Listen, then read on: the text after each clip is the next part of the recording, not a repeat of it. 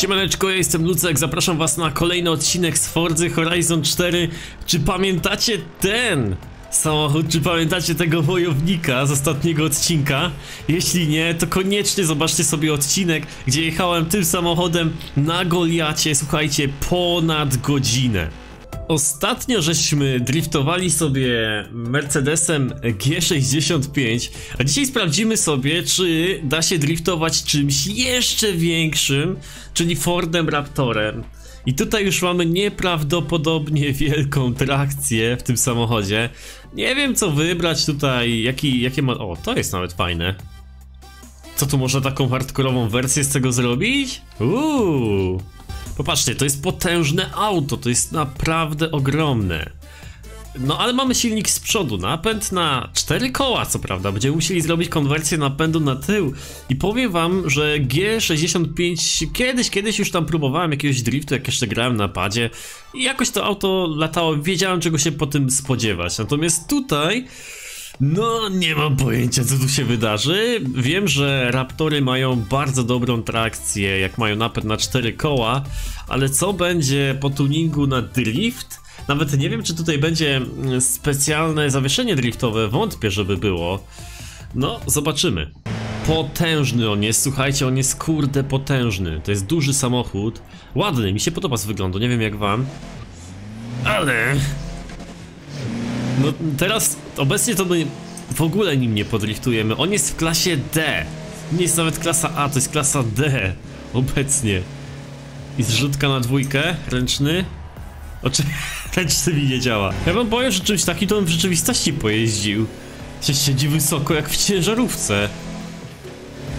Dobra, uwaga. Zrzutka na dwójkę i ręczny.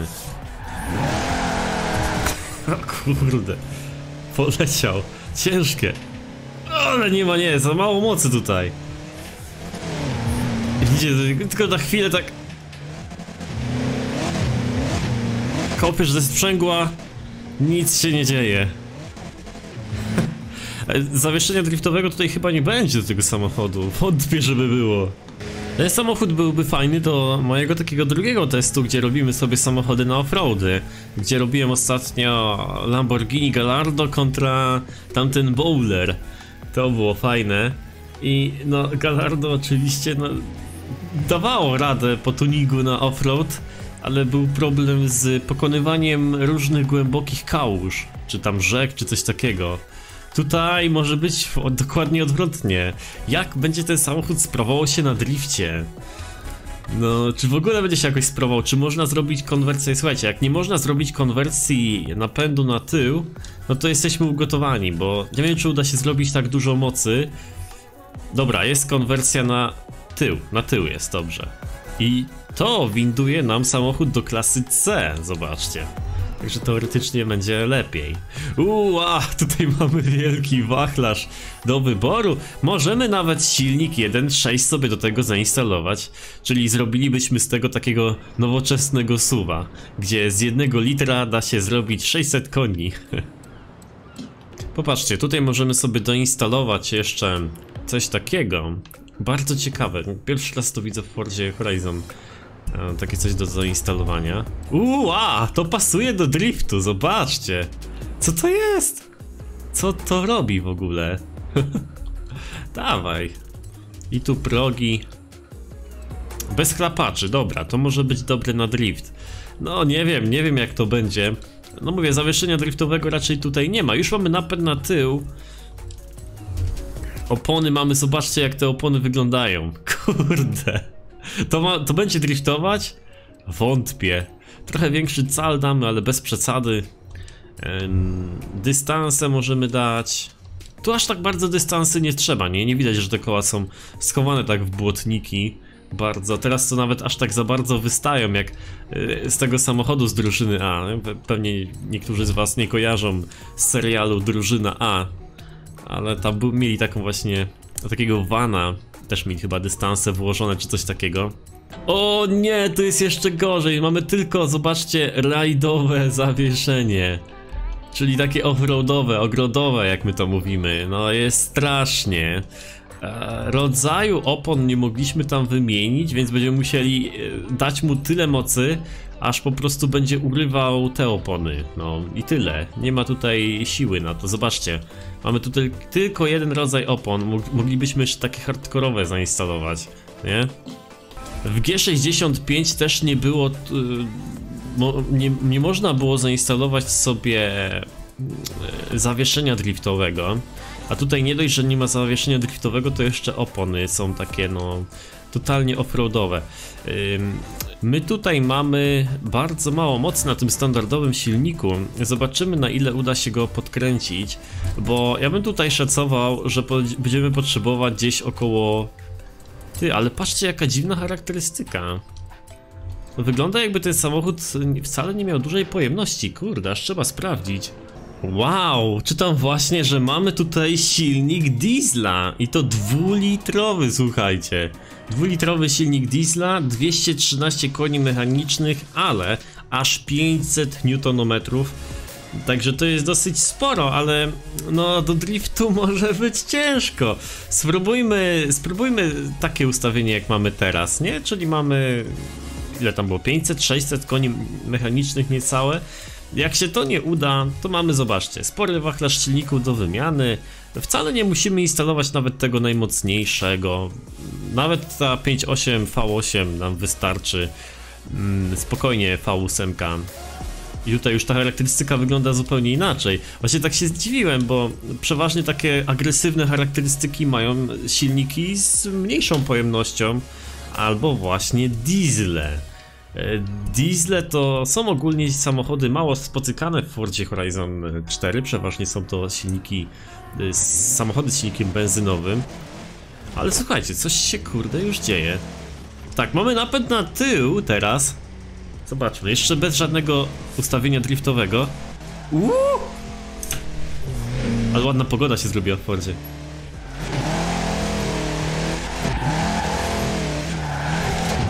Diesel tak daje? A gdzie on, czemu on nie dymi? Tu powinno... Tu, tумany dymu powinny być.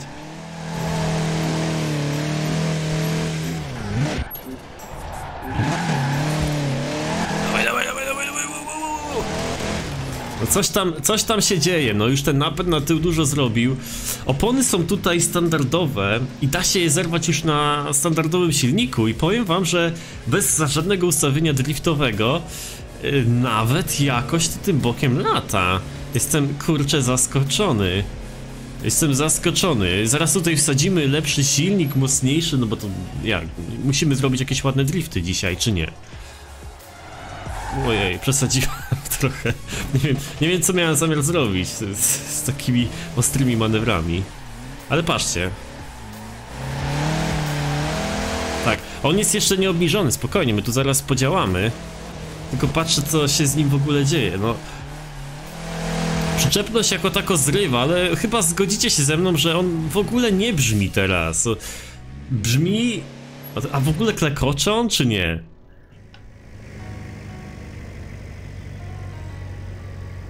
Raczej cichutko, no jak nie diesel. nie no, myślę, że te nowsze silniki diesla są już dużo cichsze, mają lepszą tą kulturę pracy niż te stare klekoty, kurde. Przeważnie lubię robić tak, że zostawiam standardowy silnik i ten standardowy silnik y, ulepszam na tyle, żeby było w stanie nim dobrze jeździć, albo e, albo driftować. E, Dlatego, że samochody z tym swoim unikalnym silnikiem czasami w Fordzie mają naprawdę fajne brzmienie i takie swoje oryginalne. No ale w tym wypadku raczej nie będę tęsknił za dźwiękiem tego samochodu. Więc tutaj na pewno sobie to wymienimy. O kurde, za, za późno sprzęgło puściłem. Znaczy za wcześnie chyba. Chyba za wcześnie, no. To są takie raczej, raczej power slidy. Nie no. Nie jest źle, ale tego ręcznego trzeba dużo. Dobra, jedziemy do zamku na tuning. O, na piachu jest super. Na piachu jest fajnie, tutaj by driftował, bez problemu. Napęd na tu sprawia, że te samochody są jakieś takie fajniejsze do zabawy, wiecie? Dawaj na skróty do tego zamku. Tutaj. Doskoczy czy nie? Uwaga. Ło, lekko, gościu, zobacz. I już jesteśmy na zamku i idziemy, idziemy robić z nim cuda. Myślę, że 5,8 litra V8 nam spokojnie wystarczy. Silnik bez żadnego tuningu już ma praktycznie taką samą moc jak ten, który mamy teraz. Troszeczkę wyżej ma. Także no.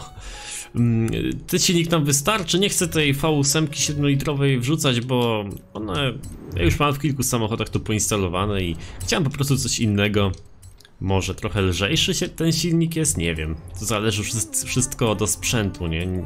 Nie zawsze należy się kierować chyba tym litrażem.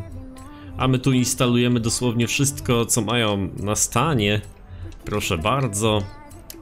I mamy w ten sposób uhuhuhu, 1041 koni mechanicznych. Nie wiem, czy opanuje ten samochód. Znaczy tak, on jest ciężki, to nie jest lekkie auto. Mamy tutaj opony, myślę, że dość przyczepne, więc myślę, że to jest dobrze. No, tyle mocy powinno być raczej w tym aucie do driftu. Gdyby to była jakaś Honda Civic, nie no dobra, Honda Civic i Drift to nie pasuje, ale gdyby to był jakiś taki lżejszy samochód, no to wiadomo, że 1000 koni to za dużo, no, ale takie 600 to wtedy wystarcza, nie? Tutaj dajmy coś takiego, biegi sobie, ile tu mamy biegów? 6 biegów, no to możemy sobie taką ustawić.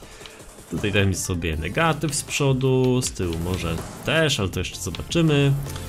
Oczywiście zwiększamy kąt i wszystko ustawiamy na sztywno. No i teraz pytanie, jak bardzo uda się go obniżyć? Obniżamy go do maksa tyle ile się da, podejrzewam, że to nie jest jakoś dużo. Hmm, zobaczymy. No zawsze coś, tak. Zawsze to jakoś tam niżej będzie. Bardziej, bardziej taki, taki sztywny myślę w tym prowadzeniu, taki bardziej responsywny. Chociaż teraz nawet nie było źle, tylko tak... No nie wygląda dobrze ten samochód w ogóle do driftu, tutaj nie ma co się oszukiwać, no ale... Ja chciałem tak, żeby... No zobaczymy co się da nim zrobić, no. Może spróbujemy zrobić sobie test pachołka tak zwany. Hehe, no może być ciekawe.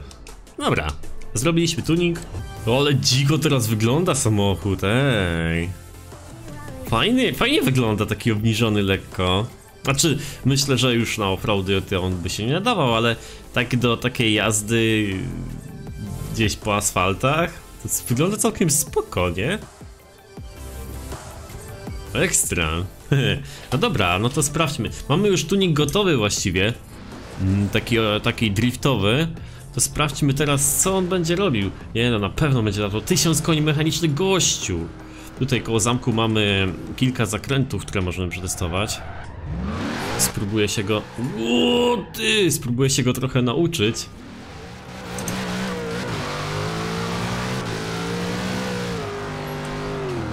Biegi trochę krótkie, ale zobaczymy.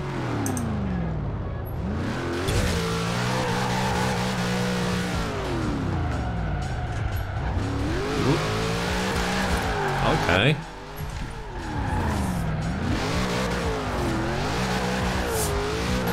Uuu. Dobra, tu będą takie. Tu jest taka ciasna droga. Czy ja się tu zmieszczę? Dwójka trochę by przydałoby się, żeby była dłuższa. Tu jest kurde tysiąc kunia.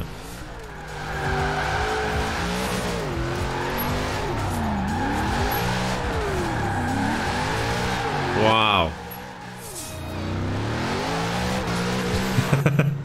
Zupełnie inaczej się tym lata. Ale kurde, jestem zaskoczony, bo chyba, chyba aż tak łatwo się go nie przestyluje jak innych samochodów. W ogóle zastanawiam się, to jest na rynek brytyjski chyba, ten, ta europejska wersja e, tego Forda, no nie? Ty, ale coś tam kurde lata, jestem zaskoczony, bo on wcale nie lata tak źle na zawieszeniu tym offroadowym.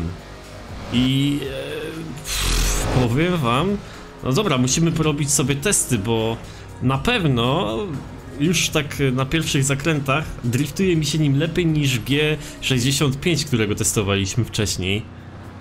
No ciekawe, ciekawe. I zróbmy test ronda. Czyli takie standardowe ćwiczenia kontrowania.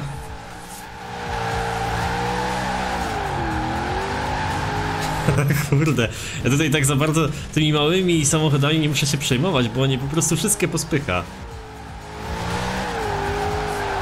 Ale mm, nie da się go tak e, podczas tego ślizgu, on nie jest taki łatwy do kontrolowania. To znaczy, chciałbym na przykład bardziej do wewnętrznej strony i on tak nie chce.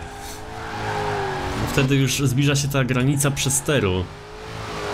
Jest kurde ciężki, tak żeby poprowadzić nim taki kontrolowany, ładny drift.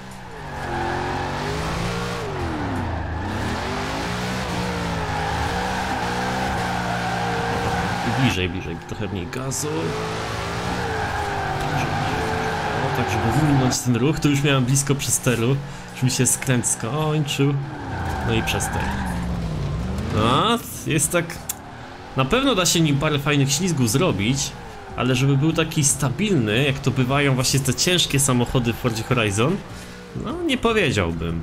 Dobra, chodźmy na miasto zobaczyć, bo na mieście jest dużo, dużo fajnych miejsc, gdzie można polatać. No i zrobimy, spróbujemy zrobić test pachołka, bo wydaje mi się, że ta długa dupa może nam pomóc, żeby zrobić. Chociaż patrzcie, no. Ha, zaraz wam pokażę, które pachołki chodzi, bo pewnie nie wszyscy wiedzą. Ale te pachołki mogą się zmieścić pod tylną paką. Jakby, teraz zobaczymy. Chodzi o to, żeby te pachołki pozmiatać. Dupą, nie? Wiadomo.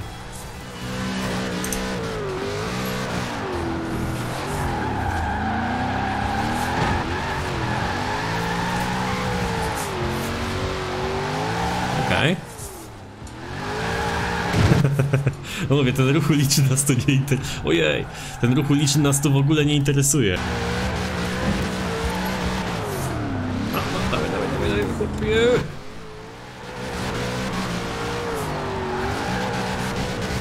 Dobra, ta dwójka, musimy tą dwójkę na pewno wydłużyć, bo tutaj kilka zakrętów ani na trójce, ani na dwójce obecnie. Trzeba będzie ją na pewno... Eee, skróćmy trochę jedynkę. O, coś takiego, nie? Żeby było i trójkę też odrobinę wydłużymy. No i to powinno, powinno załatwić temat. Szóstki nawet nie używam.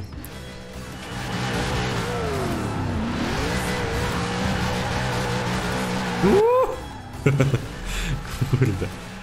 Jakby nie było ruchu ulicznego, to by było fajnie. Ale i tak, no mówię, wszystko pospycha. Prawie. Chyba, że tu się znajdzie jakiś inny taki pick-up na drodze. Przed chwilą mieliśmy takiego jeepa cięższego. Ojej, ale on strasznie szybko prędkość wytraca. Jak się dłużej pociągnie na ręcznym, on praktycznie się zatrzymuje w miejscu. W porównaniu do innych oczywiście samochodów driftowych. Ojej, ale on jest długi. Ja myślałem, że się zmieszczę przed tamtym samochodem żółtym. Tak go musnę tylko z dyżakiem. A tu nie. Okej. Okay. Tu jest dużo takich, wiecie, zakrętów 90 stopni. Tu sobie naprawdę można fajnie, dosyć łatwo potrenować. Driftowanie.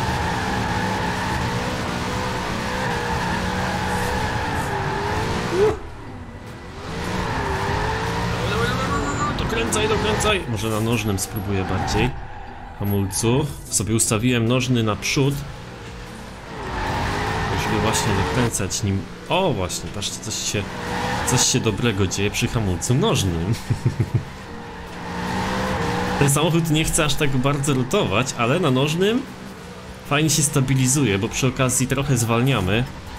Trochę bardziej niż na ręcznym, bo ręczny to jest taki, że ta dupa to od razu leci, zamiast samochód zwalniać odrobinka. Nożny, zobaczcie, fajnie, nie? Dobra, hops. Za mocno tutaj. Dobra, idziemy, idziemy zrobić test pachołka, bo właśnie jesteśmy tutaj bardzo, bardzo blisko tego miejsca. No i jak zauważyliśmy przed chwilą, hamulec ręczny jest taki dość mocny w tym samochodzie. Myślę, że to przez wagę bardziej niż przez to, że jakaś specyfikacja tego samochodu te, to wymaga. Mm, ale hamulec nożny tak ustawiony naprzód stabilizuje trochę furę. Jezu.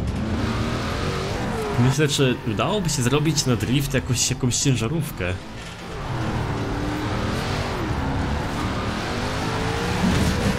Aż ty, dziadu! Już prawie wszystkie pachołki bym strącił, bo tak ładnie mi szedł. Ach, myślałem, że się zmieszczę tam. Cholerny ruch uliczny, no. Co oni tu robią? Nie mają co robić ze swoim życiem. Dobra. No powiem wam, że się chyba uda. Już to tych pachołków nie będzie zaraz, ale chodzi mi o to, żeby tym tyłem tak ładnie prześlizgnąć przez wszystko. Jezu, ile tu tego jest? Co wy nie macie co ze sobą robić?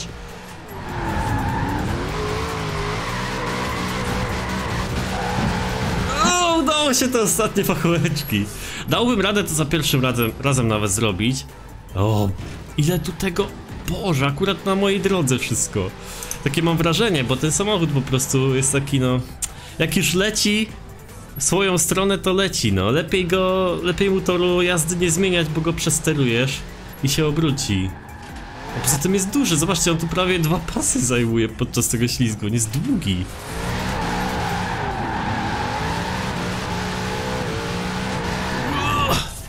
Jest bardzo długi.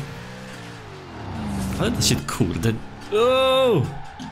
Bez żadnego ćwiczenia, bez niczego zrobiłem sobie taki tunik byle jaki tego samochodu i jakoś tam lata, no. Nic nie ćwiczyłem tym autem. Przed odcinkiem ani nic. I, I, nawet, nawet coś tam mi się udało, to się rzadko zdarza. Przeważnie każdy drifter ma jakieś tam swoje ulubione auto w Fordzie. Moim ulubionym jak na razie jest E36, no chyba ni dla nikogo nie jest zagadką. Że ten samochód dobrze driftuje. Patrz. Ciężko się zmieścić. No i wypadł stąd. Co to, lupo było? Jakieś inne pupo. Gościu. Łatwo go przesterować, ale to jest domena tych samochodów, których mm, w których nie ma tego zawieszenia driftowego. One po prostu, e, zawieszenie driftowe sprawia, że samochody mają większy promień skrętu. No. Ale mimo wszystko, wiesz, w Forcie Horizon 3 w ogóle nie było tego zawieszenia driftowego dostępnego do żadnego samochodu, a driftować się też dało. Ba, w Forcie Horizon 2 dało się driftować, a tam fizyka jazdy była też zupełnie inna. No, podobna, ale inna trochę, nie? Więc to nas tak nie usprawiedliwia, ale po prostu łatwiej jest z zawieszeniem tym driftowym sam driftować, bo wiesz, możesz sobie łatwiej samochód wy wyprowadzić z jakiegoś driftu, wyprowadzić z jakiegoś przesteru, a tutaj no jedyne co możecie wyprowadzić z przesteru to duszenie sprzęgła i puszczenie gazu. Nie? Dobra, hops, hops, hops, hops, hops. Kurde, patrzcie, no już tak fajnie szedł, chyba trochę za dużo prędkości wytraciłem, żeby ten zakręt tu wejść. Dobra, spróbujmy sobie zrobić małe rądko teraz. Ło i koniec, przester, zobacz. Nie wiem czy za dużo... Za dużo prędkości. Dawaj, dawaj, dawaj, dawaj.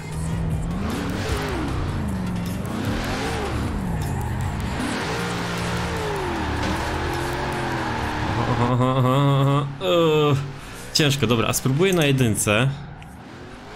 Czasami na jedynce jest lepiej takie małe rzeczy robić.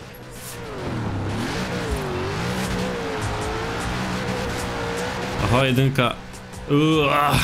Responsywna dużo bardziej. Ale teraz z kolei ruch uliczny mamy, no szlak by ich trafił.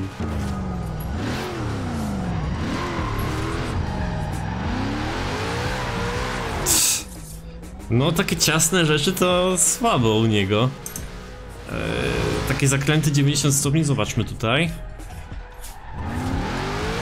Musiałem tak na ręcznym się poślizgać trochę, nie? Tak ustawić go odpowiednio. I dopiero wtedy w odpowiednim miejscu gaz i tak zobaczcie przester. Jest ciężko, jest ciężko, ale to tego się chyba spodziewaliśmy po tym gracie, nie? No kurde. To nie, raczej nie jest samochód do driftu. Grunt, że w ogóle udało się go jakkolwiek zrobić. Jeszcze jeden, jeszcze jeden bardzo fajny łuk chcę zrobić. O, fuck. Tutaj tego jest! Za dużo tych samochodów jeździ, ale wiecie co, ja je zostawiam, na jednym odcinku je wyłączam, na drugim je zostawiam, te, ten ruch uliczny, dlatego że między samochodami driftować jest fajnie, tylko tym samochodem jest ciężko bardzo. On jest taki, że jak już leci, to leci, no. Lepiej, żeby jechał tym swoim torem, takim jakim chce i tyle. Bo jak próbujesz e, mu narzucić jakiś inny tor, to on będzie z tobą walczył. I albo przesteruje i koniec, albo...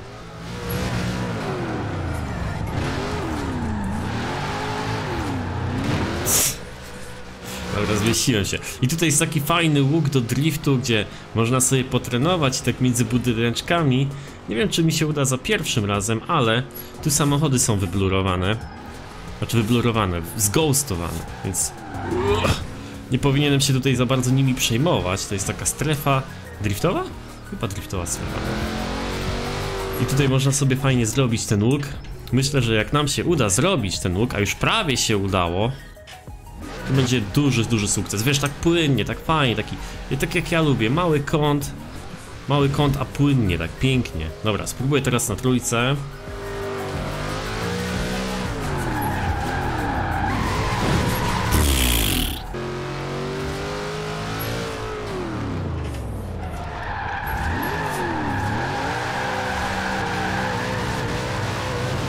Kurde, ale słabo.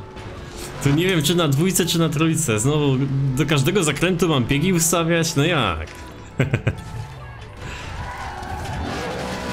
Jeszcze raz, spróbujmy na tej trójce. Może coś z tego będzie, no panie. I...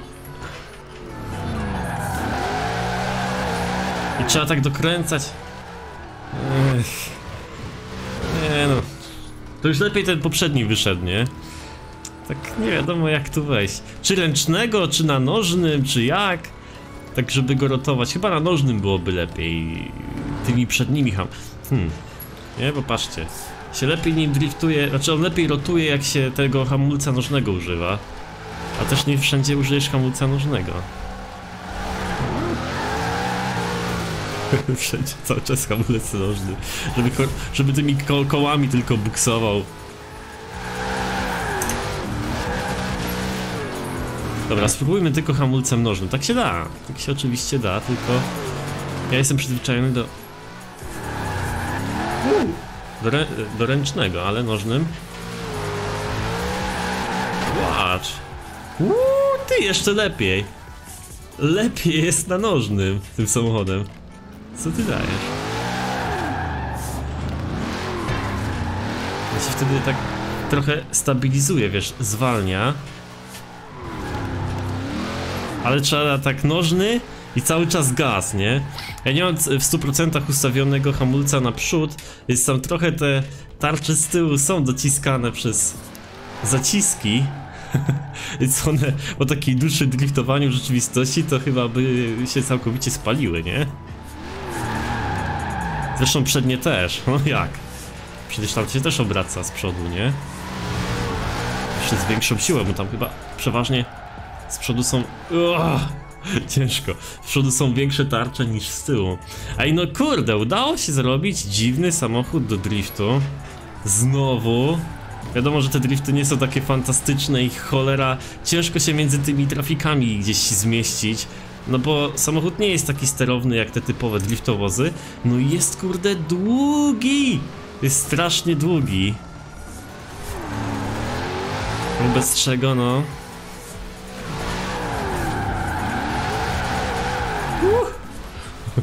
Ale to musi fajnie wyglądać. Wiesz, z trzeciej osoby, jak ktoś widzi, że lata takie, takie wielkie pudło, nie?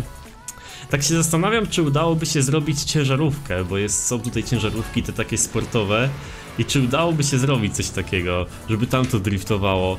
Powiem wam, że tam, jakby tam to driftowało, to by był już niezły wyczyn. Tutaj samochód jest taki, no okej, okay, on sobie coś tam lata i, i fajnie, nie? Tu można sobie silniki pozmieniać, ale tam za dużo pozmieniać nie możesz. no? To może być ciekawe. A ja was zapraszam na kolejny odcinek z driftowania w Forza Horizon 4. Trzymajcie się ciepło i do następnego razu. Raz. Paczek leci.